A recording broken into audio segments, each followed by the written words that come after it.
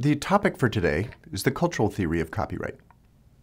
In the previous segment of the lecture, I outlined the premises of one variant of that approach. We now turn to some implications for copyright law of that variant. The question I'll try to answer is, if our aspiration were to foster A. opportunities for the good life, and B. the cultural conditions that sustain such opportunities, how might we adjust the law? Listed on the screen are 13 zones of possible legal reform. Items 1 through 8 involve copyright law proper. Items 9 through 11 involve alternatives or supplements to copyright. Items 12 and 13 involve other intellectual property regimes. In this segment of the lecture, I'll consider the first eight, which, as I say, concern copyright law itself. In the third and last segment of the lecture, I'll consider, among other things, the supplementary implications alluded to in items 9, 10, and 11. The remainder I'll leave to another time and place. This list of possible zones of reform is meant to be illustrative, not exhaustive. It's designed to suggest how the theory might be applied, not to provide a comprehensive recipe for rebuilding copyright. The first doctrinal implication is probably the most obvious. Copyright law affects education in countless ways. We should adjust and apply the law so as to enable, not interfere with, the kind of education I sketched and advocated before the break. For example, in lecture number 8 in this series, I discussed the provision of the U.S. copyright statute that attempts to facilitate distance learning. We saw that that provision, popularly known as the TEACH Act, is almost completely ineffective in practice. Its limitations are so severe that almost no distance learning venture relies on it.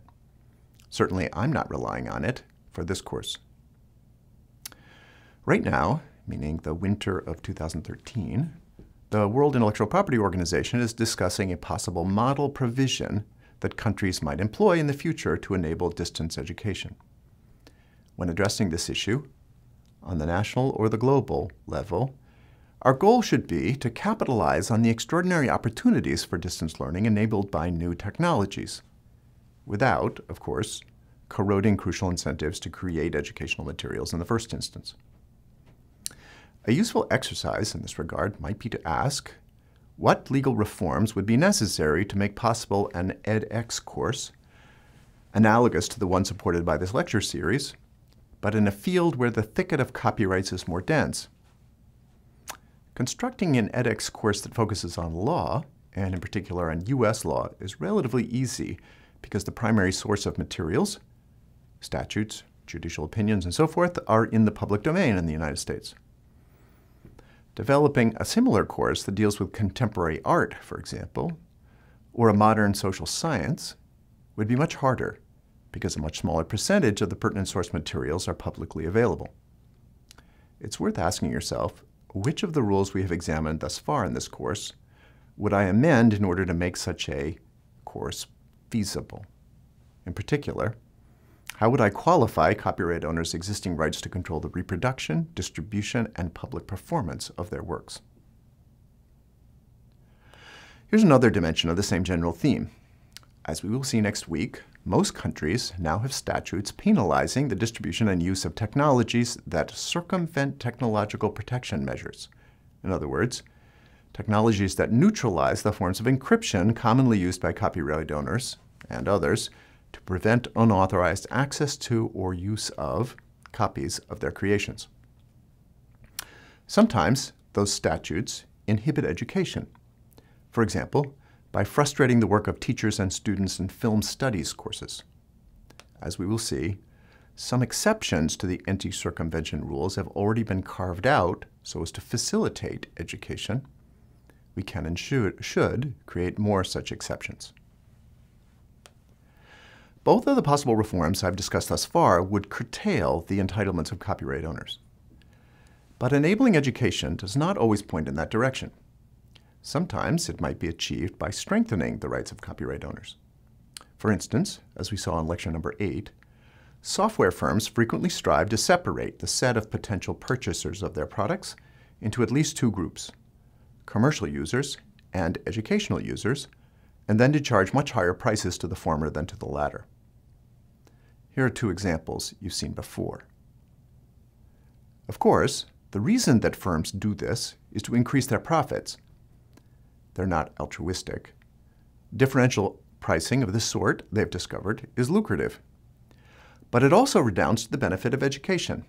Many more students and faculty are able to obtain and use application programs if the firms are able to maintain these practices than if they are not. Viewed through the lens of the cultural theory I've outlined, that's something we should applaud and preserve. How? By adjusting legal doctrines to help the software firms engage in this behavior. More specifically, by defending the rules that inhibit arbitrage, which corrodes such differential pricing systems. One such rule, we saw, is the interpretation of the first sale doctrine, adopted recently by the Court of Appeals for the Ninth Circuit in the Autodesk case. That interpretation enables software firms, by characterizing their transactions with their customers as leases of copies of the programs, rather than as sales of copies of the programs, to suppress secondary markets in the copies they provide to students and teachers. And that, in turn, will enable the firms to keep the prices of those educational copies low. And that's what we want. I hasten to add that there may be other implications or applications of the Autodesk ruling that we should be less happy about, but this one seems commendable.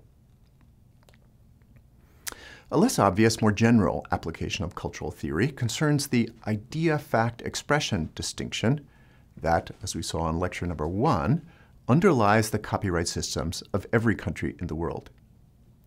Copyright law, as you now know, does not protect either ideas or facts. It only protects original ways of expressing those ideas and facts. Many applications of this principle are straightforward. To take an immediate example, the somewhat heretical claim I made a few minutes ago, namely that the Autodesk decision may be consistent with a cultural theory of copyright, is an idea. You are thus free to describe that idea to anyone else in any medium, provided that you use your own words to express it. But you may not, without my permission, use the sequence of words that I employed to express the idea. Now, in reality, as you know, I have already given permission for many uses of my exact words through the Creative Commons licenses under which these lectures are distributed, but ignore that fact for the purposes of this illustrative hypothetical. Even though the general principle is clear enough, applying it in borderline cases is sometimes difficult. For example, what if the particular way in which I have expressed the defensibility of Autodesk is the only efficient way of expressing that idea? Then may you might use my exact words? Yes, under the merger doctrine. What if my language is not the only efficient way of expressing the idea, but one of a small set of efficient ways? May you use my formulation? Not so clear. Here's another edge case. In the previous lecture, I described the facts of the Harper and Row decision, in which Victor Navasky took some 300 words from President Ford's autobiography. Among the most distinctive phrases lifted by Navasky were those in which President Ford described his deliberations concerning whether to pardon his predecessor, Richard Nixon. An illustrative excerpt from Navasky's article is set forth on your screen. In justifying the pardon, Ford goes out of his way to assure the reader that, quote, compassion for Nixon as an individual hadn't prompted my decision at all, close quote. Rather, he did it because he had to, quote, get the monkey off my back one way or the other, close quote. The language that appears in bold and in quotation marks was taken from Ford's book. The remaining language was Navasky's. Justice Brennan, dissenting in this case, contended that two aspects of the copyright system should have been construed so as to afford Navasky some latitude.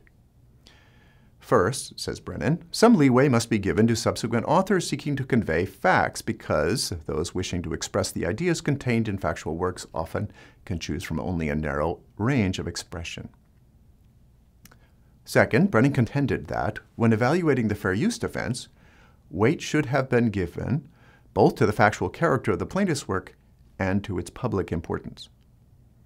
But even Brennan did not challenge the claim that quoting 300 of Ford's words in this way constituted a prima facie violation of Section 1061 of the statute.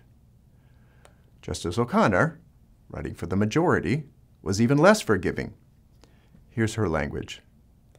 Quote, the nation has admitted to lifting verbatim quotes of the author's original language totaling between 300 and 400 words and constituting some 13% of the nation article.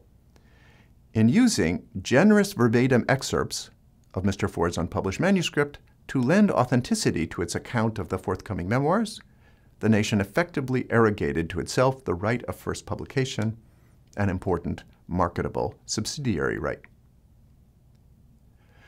Viewed through the lens of the cultural theory I have outlined, this is troubling. Participatory political democracy, as we've seen, is one of the fundamental features of an attractive and stimulating society. Political democracy is only possible if the citizenry is informed. It's hard to imagine an issue more central to political debate and engagement than the precise reasons why one president decided to pardon another president for a crime.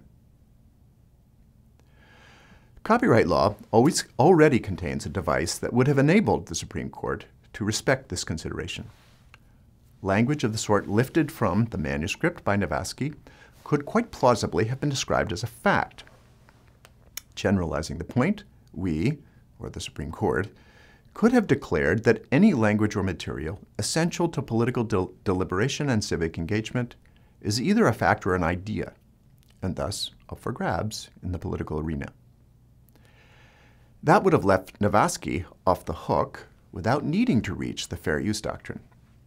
And the result would have been to encourage journalists in the future to make more widely available analogous utterances by major public figures. Here's another example of the same point. You'll recall, I hope, our discussion in lecture number six of the case that considered whether Martin Luther King had complied with the statutory formalities established by the 1909 copyright statute when delivering his I Have a Dream speech on the Washington Mall.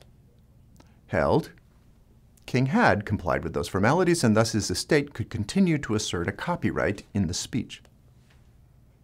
Again, viewed through the lens of cultural theory, that outcome is problematic. Broad public access to the extraordinarily powerful language in which King expressed his vision of civil rights would foster democracy and civic engagement. Rephrasing this consideration in the language of copyright law, shouldn't the text of the speech now be considered a fact? This principle need not threaten the core of copyright law. What type of candy Kramer dropped into the body of a patient during one episode of The Seinfeld Show does not constitute a fact but statements by public figures, essential to deliberation and civic engagement, should be. A more radical extension of the same general approach would entail denying copyright protection to materials to which subsequent authors must have access in order to express themselves effectively. That principle arguably already underlies not only the merger doctrine, but also the scènes à faire doctrine, which, as we've seen, denies copyright protection to images or scenes that are, as a practical matter, essential to work within a particular genre. The merger and scènes à faire doctrines have cousins elsewhere in intellectual property law. For example, in the rule that trademarks lose protection when they become generic, and in the nominative use defense, also in trademark law. If we interpreted or supplemented merger and scènes à faire this way, we would deny copyright protection to works or aspects of works that subsequent speakers need to be able to speak effectively. For example, we would permit historians and appropriation artists to use news photos that they could not have taken themselves. By contrast, if we were persuaded by the logic of the Bridgeport music case, we would not permit rap artists to sample sound recordings without permission because, as you now know, the law, at least in the United States, permits rap artists and others to recreate those recordings in the studios, and thus they do not need access to the originals in order to work effectively. Next topic. As you know by now, there are two general regulators of the scope of copyright in the United States. The first is the idea fact expression distinction, which we have just reconsidered from the vantage point of cultural theory. The second is fair use. How might cultural theory illuminate fair use? You will recall, I hope, that when we were, when we were discussing welfare theory in lecture number four, I suggested that each of the various entitlements that might be assigned to copyright owners could be evaluated on the basis of a ratio, the numerator of which is the economic benefits that entitlement would provide to creators, and thus the incentive it offered to creativity, and the denominator of which is the social losses that entitlement would cause. Generally speaking, we would like to assign to copyright owners entitlements that carry with them high ratios, i.e. that to use Louis Kaplow's words, give us a big bang for our buck. And we would like to deny to copyright owners entitlements that carry with them low ratios. In other words, that cause social welfare losses that are large compared with the economic benefits they confer on copyright owners. The fair use doctrine offers one device we might employ for this purpose.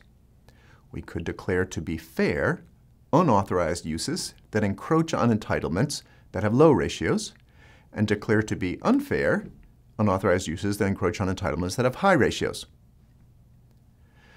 A modified version of this methodology might be employed if our beacon were cultural theory rather than welfare theory. Specifically, we could declare to be fair unauthorized uses that encroach on entitlements that provide copyright owners modest benefits but erect substantial impediments to the pursuit of a just and attractive society. On the other hand, we could declare to be unfair unauthorized uses that encroach on entitlements that impede the good society in ways that are modest compared to the benefits they provide to copyright owners. Here's an easy example. Commentary and criticism are culturally beneficial for many reasons. They help consumers determine which books they wish to read or which films they wish to watch before they waste time sampling them.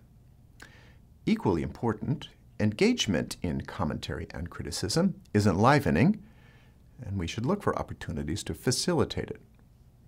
That, in turn, suggests that copying copyrighted materials for the purposes of commentary and criticism should be privileged under the fair use doctrine.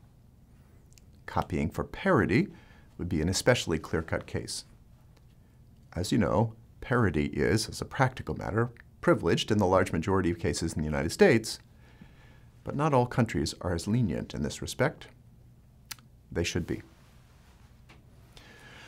Here's a harder example. You'll recall from the preceding lecture that the meaning of the crucial term transformative and U.S. fair use doctrine is currently unclear. An interpretation of that term that associates it with physical modifications has fallen out of favor. But two other interpretations in which transformative is translated as socially beneficial, and in which it is associated with cases where the purpose of the defendant's work is different from the purpose of the plaintiff's work, currently contend. Some scholars and judges favor neither. When I summarized this debate, I suggested that there is a fourth possibility. The term transformative could be translated as creative. This was the interpretation I offered many years ago in an essay on fair use, and I continue to think it's the best one. A defendant's work should be treated as tra transformative if and only if it's creative. Somewhat more specifically, if it either constitutes or facilitates creative engagement with intellectual products. All of the cases that fall within the green ellipse on your screen involved uses that fit this definition. All, consequently, should have been deemed transformative which would likely have led to findings that they constituted fair uses. To be sure, this proposed interpretation of transformativeness would not be a panacea. Although it would increase the coherence and thus the predictability of the doctrine, it would still call upon courts to make difficult decisions concerning degrees of creativity. This would be especially problematic in the context of motion picture adaptations of novels or stories. How creative would they have to be to escape liability if unauthorized? A guideline that might help when addressing such questions would be that movies that retell in a different medium the same story told in the original novel would be insufficiently creative to constitute fair uses, whereas movies that told different stories would be deemed fair. So, for example, the Harry Potter movies would require licenses, while Apocalypse Now would not, on the assumption that Heart of Darkness were still in copyright. But one can readily imagine intermediate and thus harder cases. In sum, construing transformative as creative would help to reorient fair use, but conceitedly would leave many issues unresolved. Acceptance of this suggestion would increase the set of circumstances in which defendants could successfully invoke the fair use doctrine. But the theory I've outlined does not always push in that direction.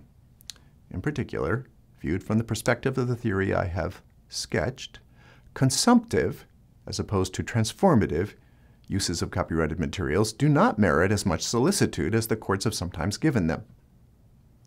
Recall Justice Blackmun's comment in the Betamax case. The situations in which fair use is most commonly recognized are listed in Section 107 itself. Fair use may be found when the work is used for purposes such as criticism, comment, news reporting, teaching, scholarship, or research. Each of these uses reflects a common theme. Each is a productive use, resulting in some added benefit to the public beyond that produced by the first author's work. The fair use doctrine, in other words, permits works to be used for socially laudable purposes.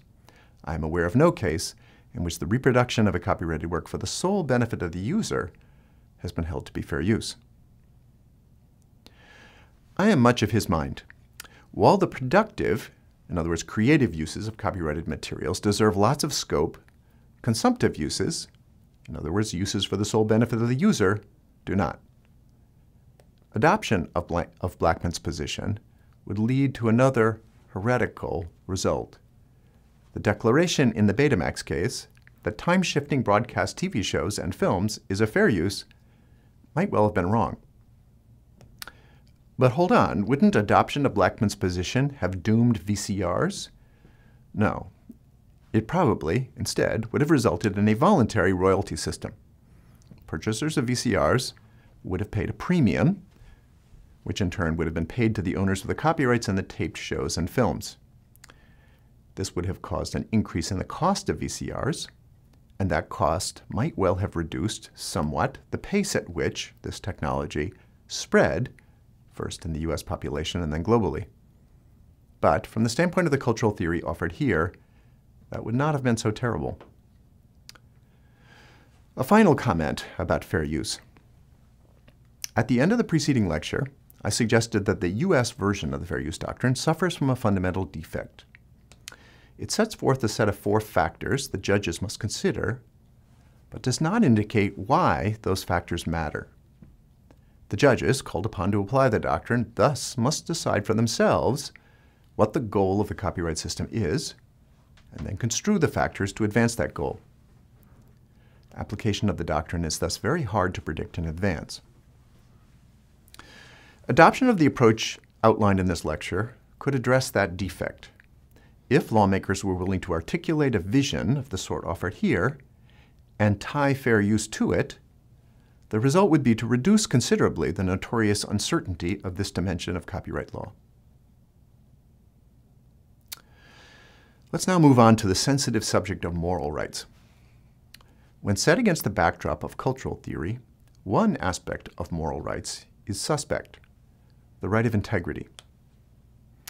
As you know, the right of integrity, when fully implemented, protects artists and authors from the destruction or mutilation of their works. The result, inevitably, is to curb the interests of the people we used to call consumers to remix their creations.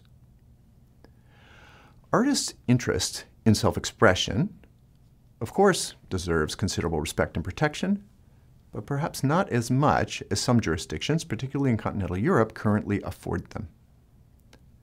In some contexts, the artist's interests may have to be tempered by legal recognition of the equally important interests of consumers in self-expression and the overall cultural importance of semiotic democracy. With respect to unique or limited edition works, perhaps preservation of the current regime is unbalanced sensible. No one should be permitted to melt down or desecrate one of the few castings of Rodin's thinker. But when copies of a work are not scarce, modification and remixing should be freer. An example would be colorization of black and white movies.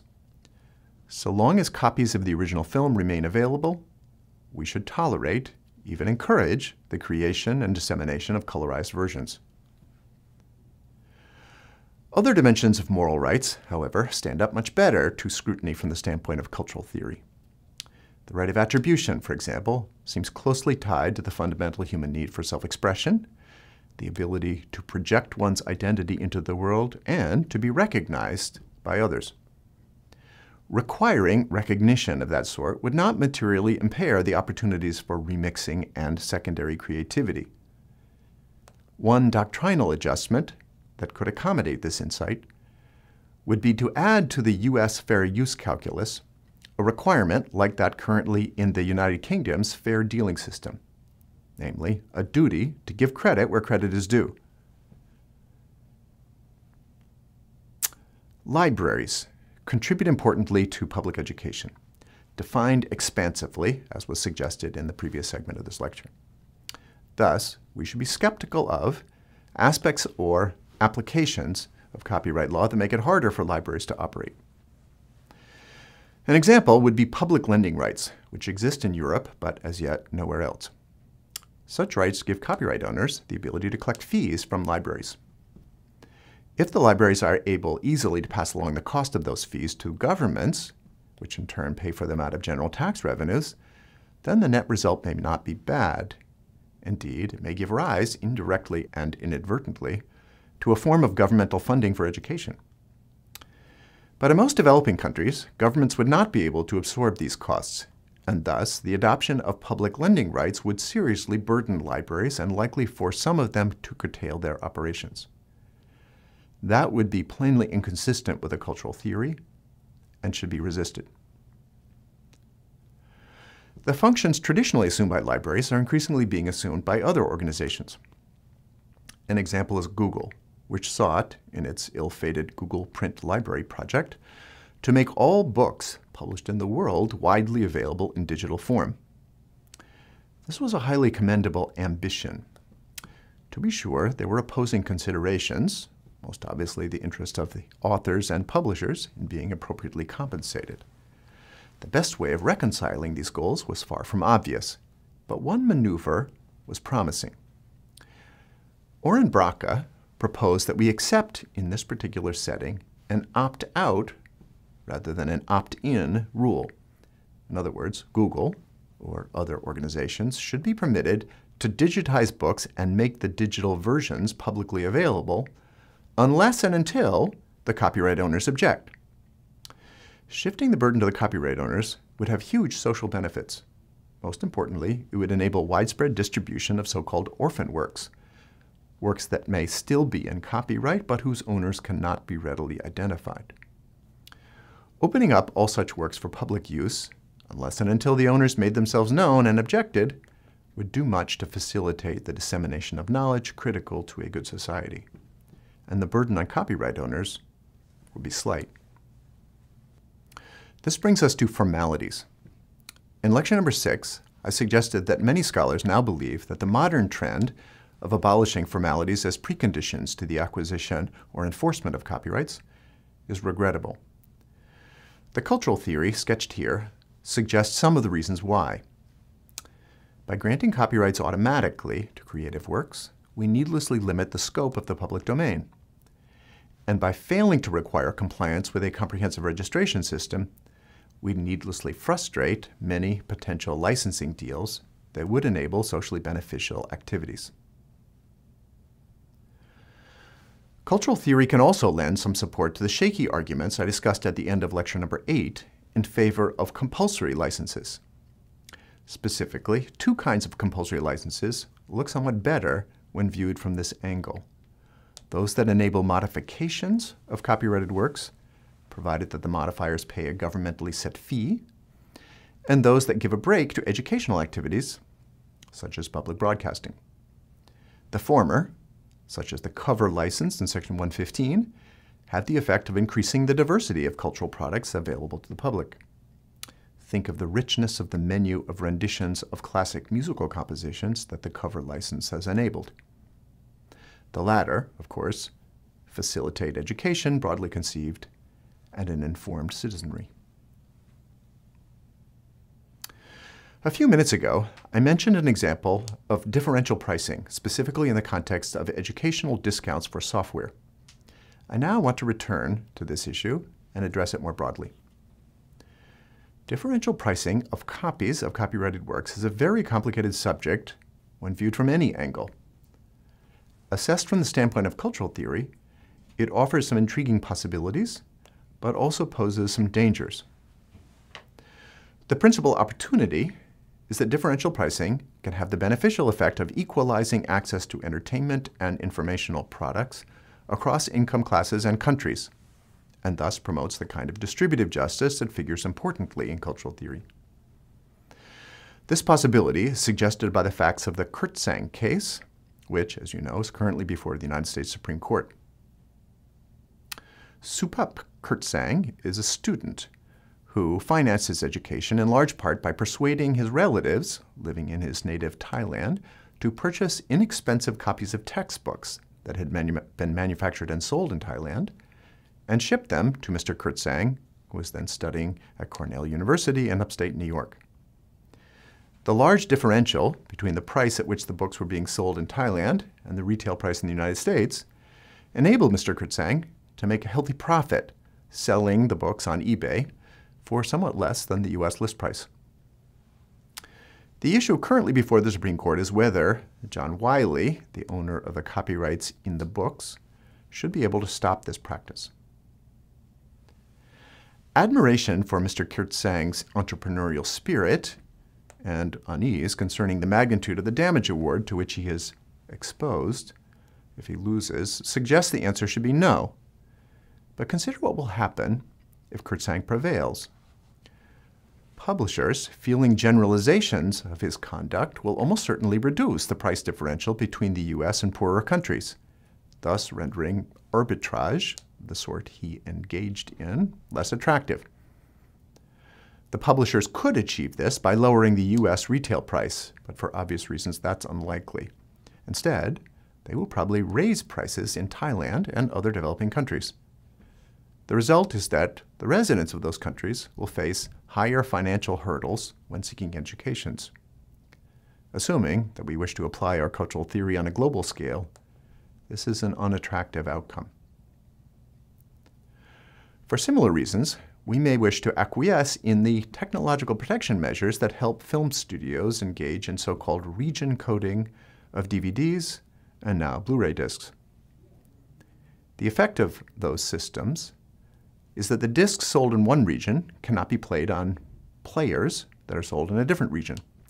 One of the goals of such systems is, to enable the studios to sell discs at lower prices in poorer regions than in richer regions without fearing importation of the cheap versions into the wealthier regions. From the standpoint of distributive justice, it seems a good thing, not a bad one. But Differential pricing is not an unalloyed good, viewed from the standpoint of cultural theory. It has at least four potential drawbacks. First, it sometimes result, results in a constriction, not expansion, of the set of people to whom the good at issue is provided. This all depends on the shape of the demand curves in the subdivided markets. Second, as Wendy Gordon observes, differential pricing can increase what she calls the granularity of social life, the sense that all of our conduct triggers microcharges. Third, as Yochai Benkler and Eric von Hippel contend, differential pricing can corrode a culturally beneficial practice and spirit of altruistic sharing, in other words, giving away your stuff for free. Last but not least, the dream that currently bedazzles many copyright owners of slicing their markets ever more finely creates a powerful incentive to collect extremely detailed information concerning the habits, incomes, and wealth of those customers. The result is a serious risk to privacy, one of the conditions that, as you know, figures in our vision of the good life. How can we balance these competing considerations? No blanket solution is readily apparent. The set of rules governing differential pricing that, all things considered, is most conducive to the good society, unfortunately, varies by context. This concludes our examination of the possible implications of the particular variant of cultural theory that I have outlined here for the reform of copyright law proper. After the break, I'll consider a few ways in which the same theory might be applied outside copyright law, and then consider some overall objections to this whole approach.